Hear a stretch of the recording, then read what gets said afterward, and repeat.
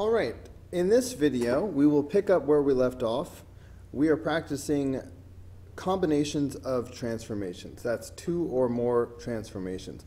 So far, in the previous video, we've done the first page of this worksheet, and now we're moving on to the second page.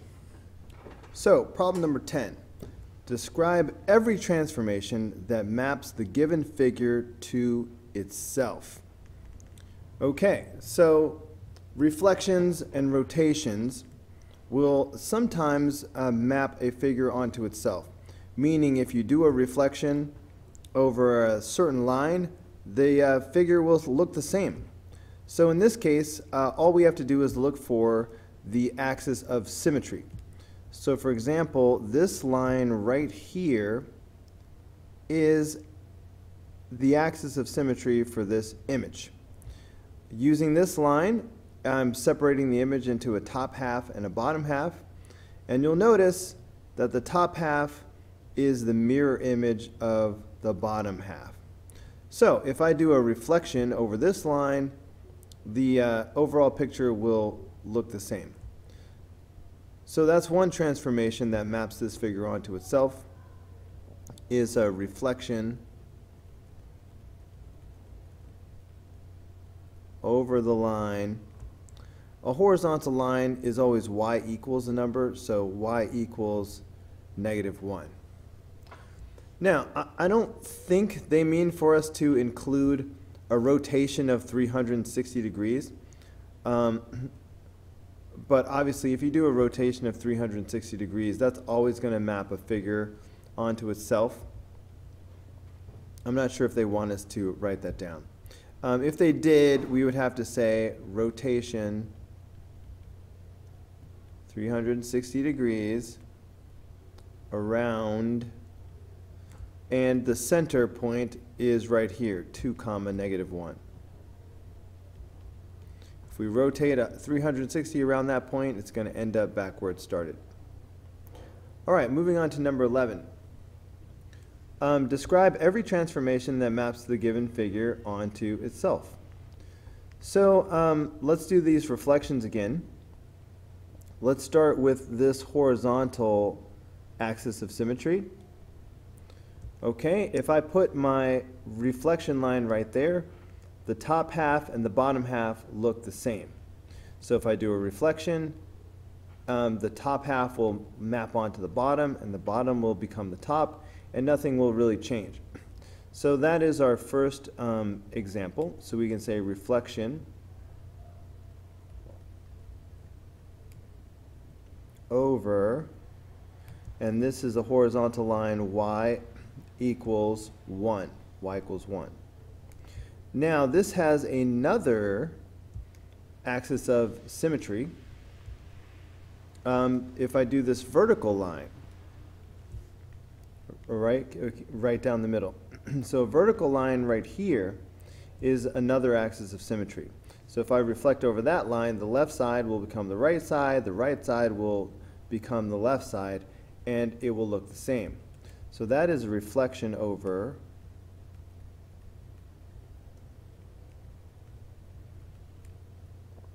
the line x equals negative 2. A vertical line is always x equals a number. So x equals negative 2. Now, there are rotations that will uh, cause this figure to look the same other than 360 degrees, which definitely always will work. Um, but we don't have to quite go as far as 360 degrees. Let's draw a rectangle so I have something that I can rotate. Okay, so I'm just going to sort of trace over the top of this rectangle. So I have a copy of it. Now, if I rotate this 90 degrees around the center, like this, okay, I just went 90 degrees. Right now it doesn't match, so this is no good in terms of mapping onto itself. Now, if I rotate another 90 degrees, bam, it falls right back on top of itself. So, of course, rotating 90 degrees twice like I just did, is the same as rotating 180 degrees. Okay, so we could say rotation 180 degrees around um, and the center point right here is uh, negative 2 comma 1.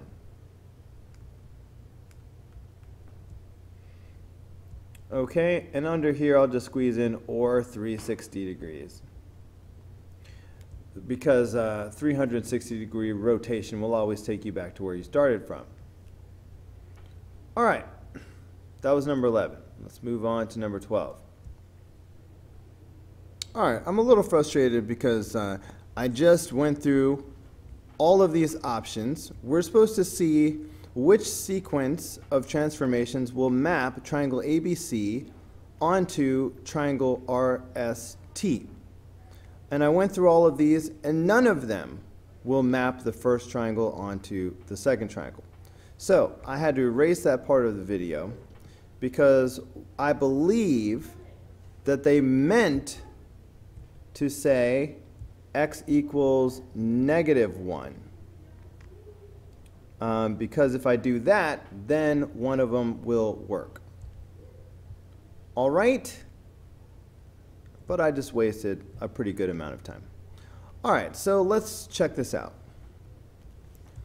If we reflect triangle ABC across the line x equals negative 1, okay, the line x equals negative 1 is a vertical line at negative 1, like this. Okay, so let's use that as our reflection line. So notice how point A is four units to the left of this line. So the reflection would be four units to the right. Point B is two units to the left, so B prime would be two units to the right. Point C is two units to the left, C prime would be two units to the right. So this would be the reflection over the line y equals, uh, sorry, x equals negative 1. Now, what if I then translate this image down one unit? Well, that's not going to do it. If I just move this shape down one, then that's going to move um, the, this bottom of the triangle here it's going to move the base of the triangle from here to here. If I just move down one, this will be the new bottom of the triangle. That's not far enough. I need to move the base of the triangle all the way down to here, SR. Okay, so let's rethink that. So A is not the answer. Um, how far would it be if I moved this base all the way down to where it should be, the, at the base of the other triangle? um, so that is five units down.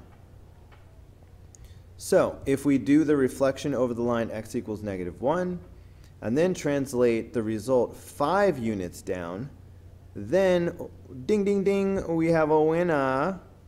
The answer is option B. All right, so obviously these other two choices don't work out. Last one. For number 13, we need to describe a sequence of transformations to get from polygon ABCD to polygon A double prime, B double prime, C double prime, D double prime. Oh, I think this is B double prime over here. Well, the new image is definitely twice as big as the original. Notice that the distance from, from A to C is 4 units, while the distance from A to C prime, uh, A double prime to C double prime is 8. All right, similarly, uh, it's twice as big horizontally. So this image is twice as big. So I definitely uh, know that we, we're going to need a dilation um, by a scale factor of 2. And I think a dilation from 0, 0 from the origin will do it. Um, notice that point C is one unit away from the origin, while C double prime is two units away from the origin. So if I do a dilation from zero, the new image should be twice as far away from the origin. So that would move this, um, the right number of spaces away. It would, it would move C, um, instead of being one unit away, it will be two units away, just like we need. So I think step one is um, dilation from the origin by a scale factor of 2.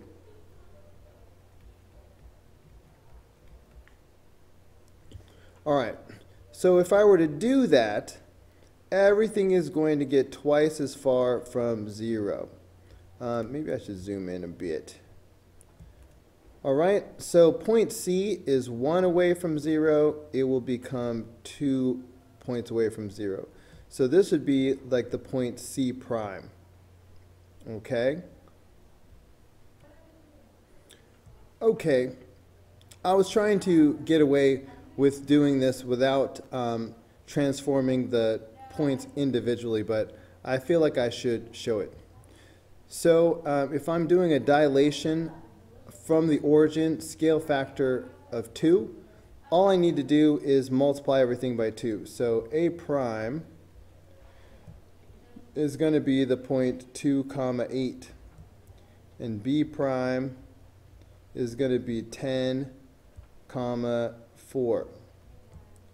And C prime is going to be 2 comma 0. That's what I was talking about. And D prime is going to be 4 comma 4. So I'm just going to plot all of these four points. So right there, that gives us this purple quadrilateral right here, um, twice as big. Now, taking a step back for a minute, you can see how the purple quadrilateral and the um, you know the image that we're shooting for, the target, they are mirror images of each other. They are the same size, only they're facing in opposite directions. So that's why the next transformation needs to be a reflection over the y-axis. That would just flip this onto the other picture. So the second transformation needs to be a reflection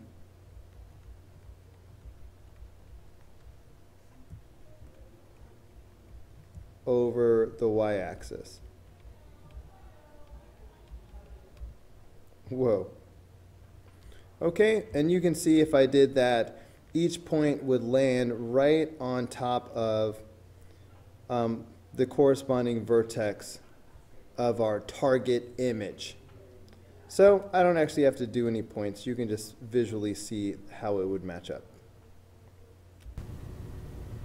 All right, guys, that's going to do it for this video. Go ahead and click here in the red apple to watch the next video. Click in the green apple to subscribe, or click the yellow apple for the full playlist.